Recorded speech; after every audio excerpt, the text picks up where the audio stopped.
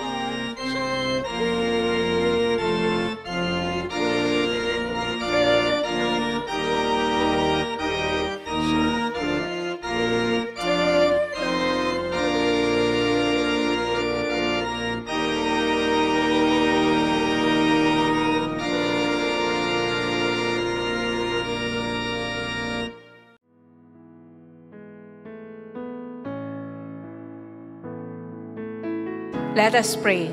Dear God, thank you for this new day. Make our love and grace present in our family, students, school teachers, and school so we can enjoy the privilege of being each other arms to share the joy and celebrate happy moments. We pray also for those who are sick and suffering from physical pain. May your gentle hands touch and heal them. Give them relief and comfort them from other kinds of difficulties and struggles. Thank you, Lord. No matter what we face today, with your help, we know we will be able to endure, overcome, and prevail. Thank you in advance for your strength and energy that will guide us and your peace that will fill us. May this day be filled with so many blessings, miracles, and answered prayers. May your angels protect us today.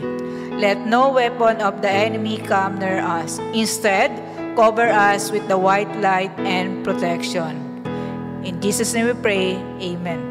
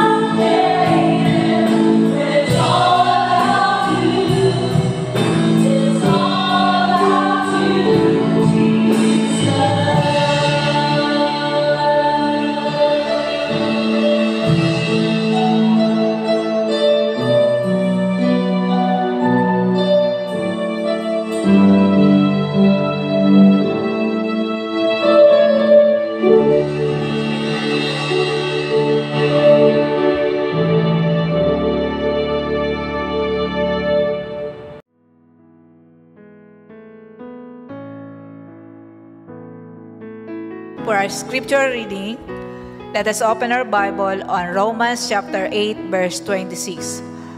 But if we hope for what we do not yet have, we wait for it patiently. In the same way, the Spirit helps us in our weakness. We do not know what we ought to pray for, but the Spirit Himself intercedes for us through wordless groans.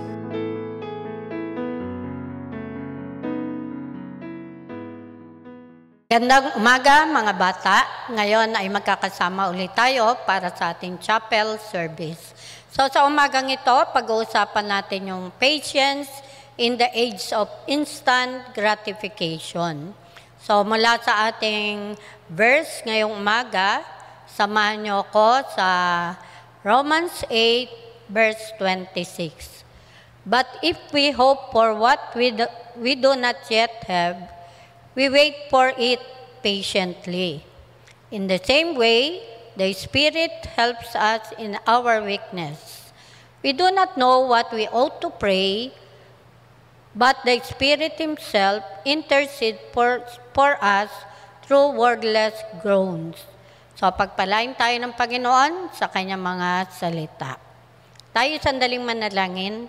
Samahan mo po kami, Panginoon, para po makinig na yung mga salita sa umagang ito, turuan mo po kami at higit sa lahat, matanggap po namin to ng buong puso upang makatulong po sa amin sa araw-araw po namin pagsunod sa iyo.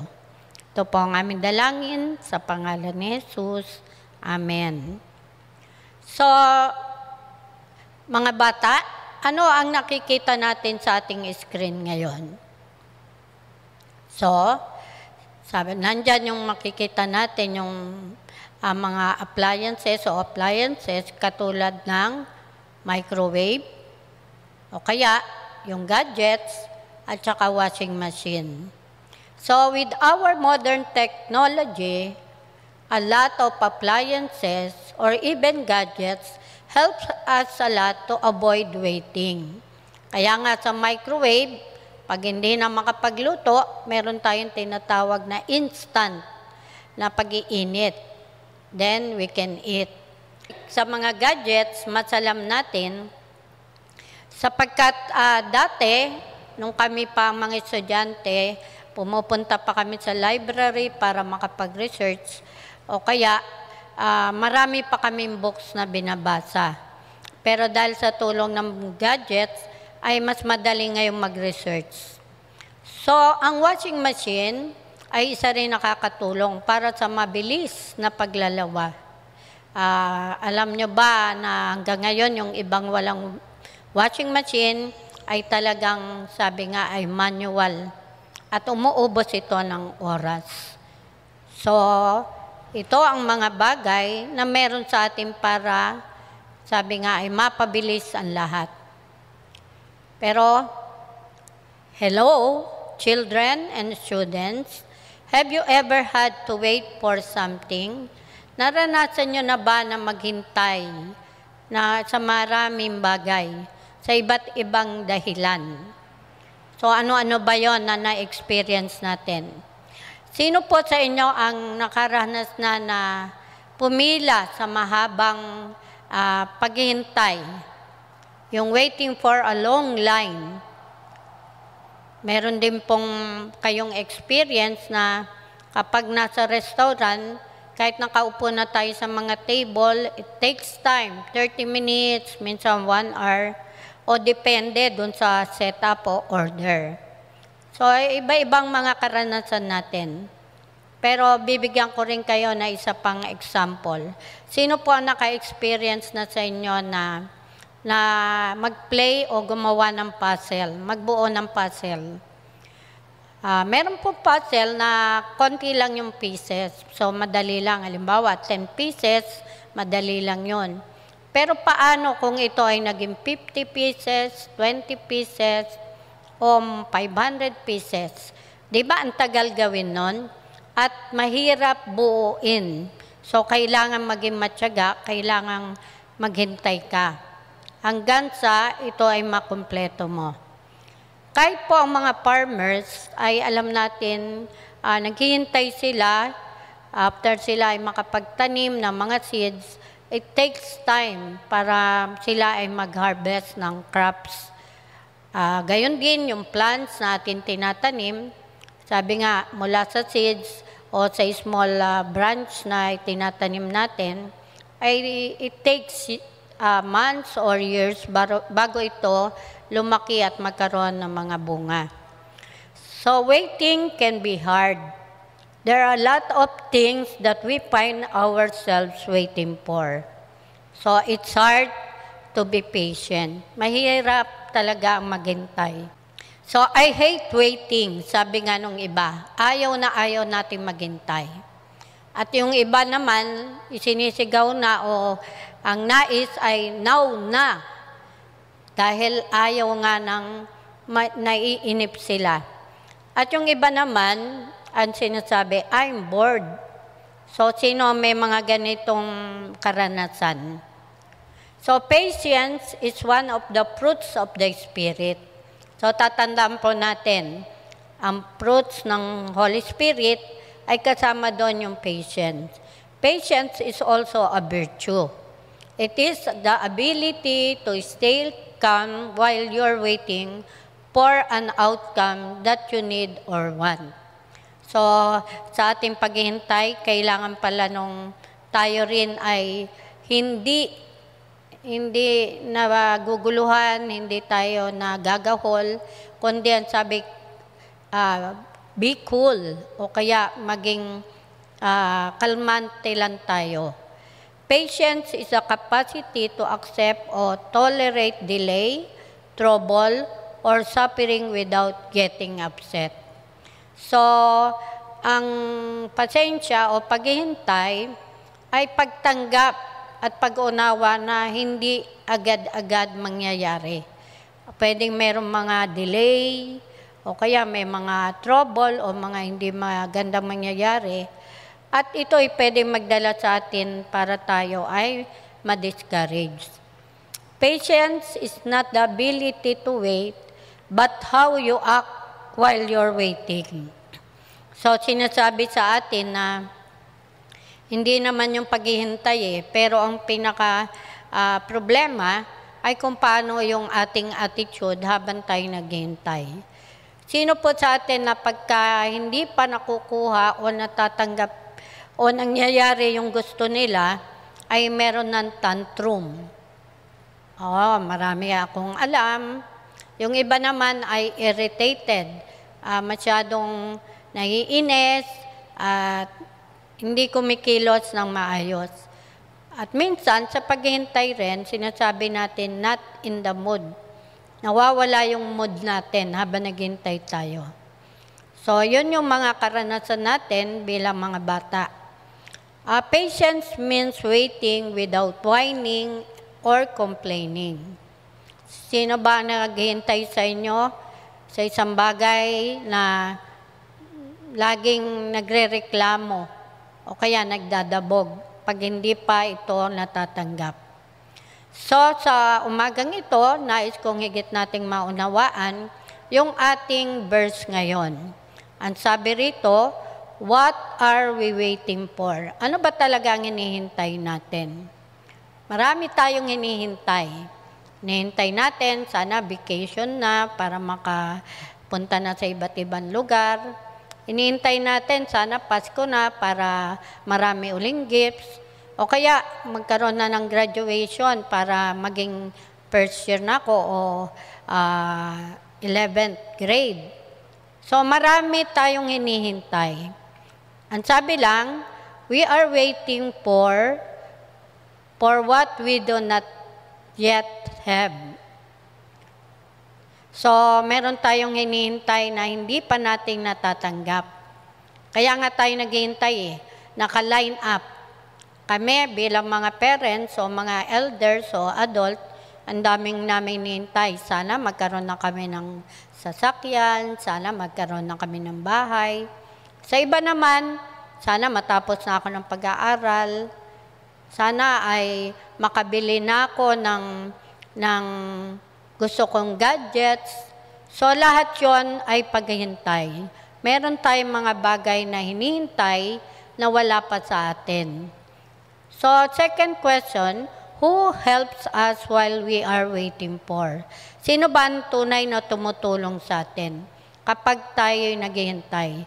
Ayon doon sa ating text ngayon, the Spirit help us in our weaknesses. Waiting is usually not quick and easy, so a fruit of the Spirit is an evidence of God working in us. So ang banal na Espiritu, sabi nga, siya yung may gift sa atin ng patience, ng paghihintay. So kapag nasa atin ang Holy Spirit, tinutulungan niya tayo. Kahit sa ating mga kainaan, kahit doon sa ating impatient, kahit doon sa yung ating sinasabing pagkainip, o kaya nabobord tayo, o kaya uh, parang walang mangyayari, tinutulungan tayo ng Holy Spirit. At kung meron man, ang sabi nga, higit yung ating prayer. Dahil doon sa prayer natin, yun yung gusto nating iparating kay Lord para yung hinihintay natin ay magkaroon na ng fulfillment o ng katuparan. Sa pangatlo, how, how are we going to wait? Paano ba tayo maghihintay? Paano kung next year pa? Paano kung pagdating pa ng high school o kaya pagdating pa ng makagraduate ako bago ko matanggap? Ang tagal nun, ano? So, depende sa ating paghihintay. Merong madali na it not uh, it takes uh, sabi nga hindi uh, naghihintay na matagal. Pero paano kung matagal? Ano man yung paghihintay natin ang sabi meron tayong magagawa. Una we will wait patiently. So maghintay tayo na may pagtsatsaga pagtitiis at sabi nga ay alisin natin yung mga bagay na hindi namang nakakabuti lalo sa atin yung pagiging irritated, yung pag, pagkakaroon ng tantrum, o kaya, uh, sabi nga, yung getting upset pag hindi pa natatanggap. So, we will wait patiently. Pangalawa, we will pray while waiting. Katulad ng sinabi ko, kung ang Holy Spirit ang tumutulong sa atin habang tayo naghihintay, meron tayong dapat gawin. Kailangan natin mag-pray, para lahat ay madala natin kay Lord. At habang inihintay natin yon, si Lord yung kinakausap natin, uh, masaya tayo na nanalangin para sa Kanya, at masaya din natin inihintay yung pagsagot sa atin ni Lord. Pangatlo, we will do something productive. Uh, meron ba naghihintay na wala nang gagawin, nakatunganga na lang, at parang bawat araw ay binibilang mo. Ang sabi, mas magiging uh, mawawala yung ating pagkainip o kaya pagka-bored kapag tayo naghihintay kung meron tayong ginagawa. Sabi nga, maging productive tayo. Yung hindi nating mararamdaman na nandyan na pala yung ating hinihintay, nandyan na pala yung mga inaasam natin na matanggap. So while waiting, uh, marami tayong pwedeng gawin na higit na makakatulong, hindi lang para sa ating sarili, kundi sa ating mga pamilya at maging sa school natin. Mag-enjoy tayo sa mga ginagawa natin at uh, gawin natin yung best natin at hindi nating inaasahan ay dadating na pala at suddenly nasa harap na natin. So maghintay tayo ng hindi lang patiently, hindi lang uh, praying, kundi higit sa lahat by doing something productive. So pang-apat, we need to keep our emotions under control throughout our journey. Alam nyo ba mga bata, habang naghihintay yung emotion natin, ay masyado nating napapansin. Naiinis tayo, uh, o kaya, uh, parang yung emotion natin laging frustrated, yung meron time frustration o kaya discouragement. Ang sabi po ay makontrol natin to. Huwag nating hayaan na dahil doon sa emotion natin ay masira yung ating hinihintay at yung inaasam. Minsan, nag-give up tayo. ah, nagko-quit tayo kasi ayaw na natin parang walang nangyayari. Parang hindi maganda ang magiging resulta. Bantayan po natin yung ating mga ugali, yung ating kilos, at maging lalo tayo mapagtiwala kay Lord. Okay? So, susunod, ang sabi, we need self-discipline. So, kapag naghihintay tayo, kailangan din magkaroon tayo ng disiplina. Disiplina, kung gusto natin magtapos ng pag-aaral, Siyempre, magtsatsaga pa rin tayo. Kailangan natin tulungan yung sarili natin. Uh, kung gusto natin mas tumaas yung ating mga grades, we need discipline. I-maintain natin yung pag-aaral natin, yung ating commitment sa time natin, at kahit sa ating mga gawain sa bahay, we need discipline. So, unahin natin yung mga bagay na yon para wag tayong ma-distract. Para lahat ng ating gagawin ay nasa direction, nasa tamang uh, uh, pamamaraan at kailangan natin na makita natin yung mga sarili natin ay naka-line up doon sa inintay natin. May magagandang magagawa. So sa umagang ito, lahat ng narinig natin ay alam natin mahirap gawin, pero again, sa tulong ng Banal na Espiritu, dahil ang Patience, it's a gift, it's a fruit of the Holy Spirit. Kaya hayaan natin na tulungan tayo na, ni Lord sa lahat ng ating gagawin hanggang sa makita natin yung reward o yung prize. Sabi nga, great things are worth the wait for. God rewards those who persevere to the end. So alam natin, kahit ang mga mamit daddy natin, laging meron sila nakanda ng mga prize reward, lalo kung nakikita na tayo ay matyaga, naghihintay, lalo-lalo na sa ating mga pag-aaral, meron tayong magandang grades, uh, meron tayong uh, magandang outcome, hindi lang sa school, kundi sa ating ginagawa sa araw-araw. Uh, laging ina-appreciate ng mamit daddy, ng mga teachers, ng mga ng mga kasama natin, kahit mga classmate at kaibigan natin, dahil nakikita yung fruits ng ating labor o yung paghihirap. Sabi nga, God rewards those who persevere to the end. Kahit ang Panginoon, si Lord ay laging ina-appreciate at lagi niyang nakikita yung kagandahan sa atin, lalo-lalo na kung tayo ay uh, nakikitang mag- nagiging matyaga at nakikita sa atin yung patient. So, hayaan natin na sa ating paghihintay ay hindi po ito masayang.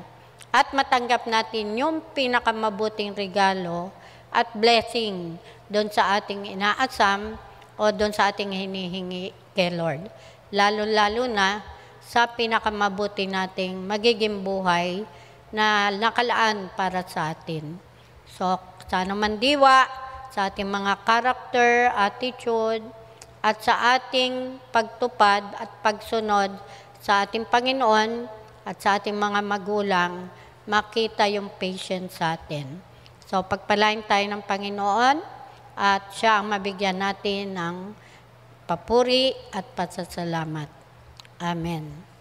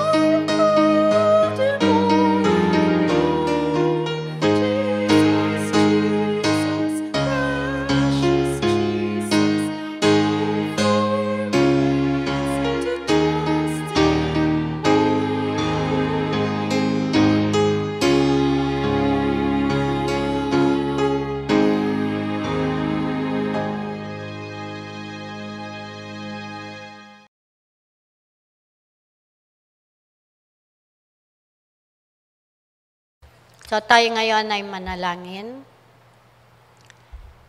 Maraming salamat Panginoon sa umagang ito. Sinaman mo po kami para sa amin chapel service. Ikaw po ang siyang nangusap, nagpahayag. Pinapaalala mo po sa amin kung paano po ka magiging patient sa amin lahat ng ginagawa, sa aming hinihintay, at sa nais po namin matanggap sa iyo. Tulungan mo po kami, Panginoon, na makita sa amin yung self-discipline uh, upang sa pamagitan nito ay maging maayos po ang lahat.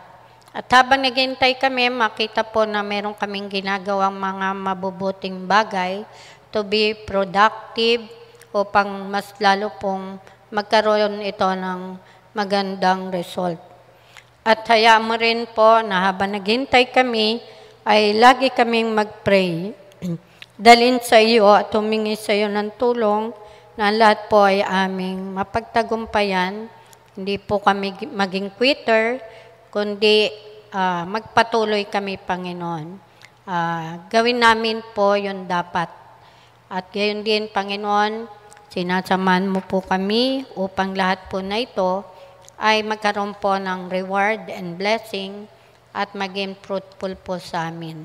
Pagpalain mo po ang bawat isang mga bata at patuloy po na umasa, maging dependent sa iyong mga salita.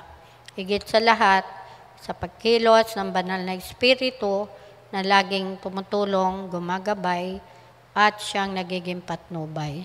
Sa iyo po ang lahat ng kapurihan at karangalan, ito po ang aming dalangin sa pangalan ni Jesus. Amen. At ngayon, tanggapin natin ang matsaganang pagpapala at biyaya na nagmumula sa ating Diyos Ama, ang patuloy na pagsama sa atin ng Holy Spirit para magawa natin ang pinagagawa na tayo ay maging patience, magkaroon tayo ng disiplina, at maging productive tayo. Pagpalain tayo sa pag-ibig ng ating Panginoong Hesus at ng Diyos Ama na siyang nagbibigay ng lahat. Sa, sa Diyos ang kapurihan at karangalan sa pangalan ni Jesus. Amen.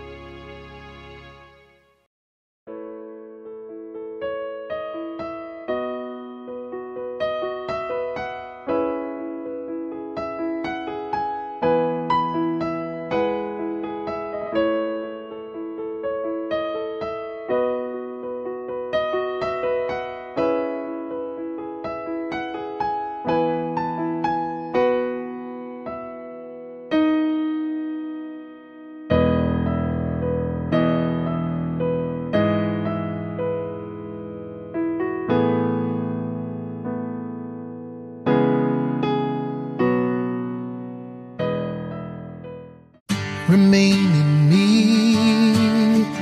I am the vine, remain in me. You shall have a life. You are the branches, bear fruit for all to see. I am the vine, remain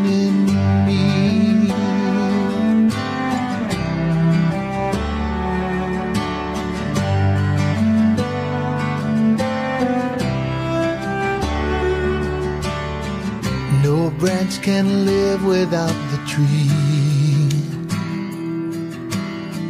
nor grow or serve apart from me. This I have told you that you may see my love in you, your joy complete. Remain in me from the vine remain in me. You shall have a life. You are the branches, bear fruit for all to see. I am the vine remain.